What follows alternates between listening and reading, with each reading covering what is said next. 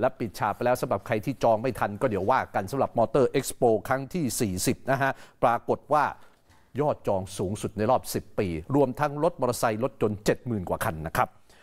13 วันการจัดงานปิดฉากไปแล้วนะครับสำหรับรถไฟฟ้าจากจีนนั้นอัดโปรโมชั่นสู้ค่ายฝั่งญี่ปุ่น กันชนิดที่แบบว่าหายใจรดต้นคอวันต่อวันนะครับทำให้ยอดจองรถยนต์หลังจบงานทะลุเอาแค่รถยนต์นะฮะ 53,248 คัน เพิ่มขึ้น 32.5%เมื่อเทียบกับช่วงของการจัดงานในปีที่แล้ว ซึ่งทำได้แค่ 36,679 คันนะครับ เท่ากับว่าเพิ่มขึ้นมาถึง 17,644 คัน เลยกลายเป็นสถิสถิติยอดจองในงาน Motor Expo สูงที่สุดในรอบ 10 ปี ส่วนรถจักรยานยนต์มอเตอร์ไซค์ก็ใช่เล่นนะฮะ มียอดจองมาถึง 7,373 คัน คนเข้าชมงานปีนี้เพิ่มขึ้นถึง 20%เลยครับ 1.6 ล้านคน ก็เท่ากับว่าตอนนี้คนไปดูงาน Motor Expo เนี่ยใกล้เคียงกับช่วงก่อนจะเกิดโควิดแล้วนะครับโตโยต้าครับ หรือเรียกกันสั้นว่าพี่โตเนี่ยนะฮะ ยังคงรักษาอันดับหนึ่งไว้อย่างเหนียวแน่นครับ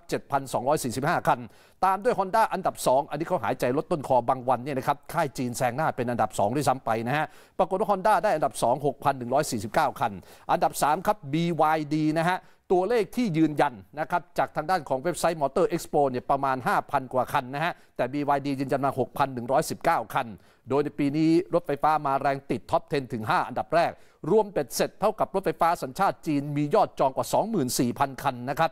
สำหรับราคาเฉลี่ยรถยนต์ที่มีการจองในงานนี้เฉลี่ยแล้วคันละ 1.3 ล้านบาท เท่ากับว่าเงินหมุนเวียนใน 13 วันการจัดงาน Motor Expo เนี่ย72,000 กว่าล้านบาทครับขณะที่นายเกรียงไกรเทียนนุกูลประธานสภาอุตสาหกรรมแห่งประเทศไทยทำข้อเสนอการพัฒนาอุตสาหกรรมยานยนต์ของไทยนะฮะมุ่งเน้นให้ภาครัฐเนี่ยรักษาแล้วก็ต่อยอดฐานการผลิตยานยนต์แล้วก็ชิ้นส่วนยานยนต์ของโลกด้วยนะครับสร้างอุตสาหกรรมยานยนต์แล้วก็ชิ้นส่วนใหม่ก็ต้องมีด้วยนะฮะแล้วก็เตรียมความพร้อมสู่ความเป็นการทางคาร์บอน ยกระดับชิ้นส่วนยานยนต์ไทยมุ่งหน้าเข้าสู่ห่วงโซ่อุปทานของอุตสาหกรรมยานยนต์ใหม่ต่อไปนะครับ